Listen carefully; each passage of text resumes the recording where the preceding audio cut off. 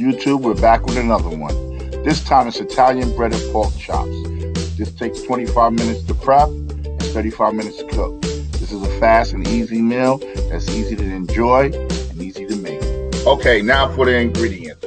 Three eggs lightly beaten, three tablespoons of milk, one and a half cups of Italian seasoned bread crumbs, a half a cup of grated Parmesan cheese, two tablespoons of dried parsley, two tablespoons of olive oil, four cloves of garlic, peeled and chopped, four pork chops. Preheat the oven to 325 degrees.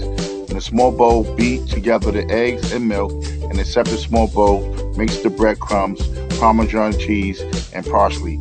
Heat the olive oil in a large oven-proof skillet over medium heat. Stir in the garlic and cook until lightly browned. Remove the garlic, reserved for other uses. Dip each pork chop into the egg mixture, then into the breadcrumb mixture, coat it evenly. Place coated pork chops into the skillet and brown about 5 minutes on each side. Place the skillet and pork chops in a preheated oven and cook 25 minutes on internal temperature of 145 degrees. Okay, there you have it. Italian breaded pork chops that can be served with mashed potatoes or any size that you like. It's easy to make and definitely easy to enjoy. Remember, love what you do and do what you love. And if you like this video, remember to like, comment, share, and subscribe. Till next time.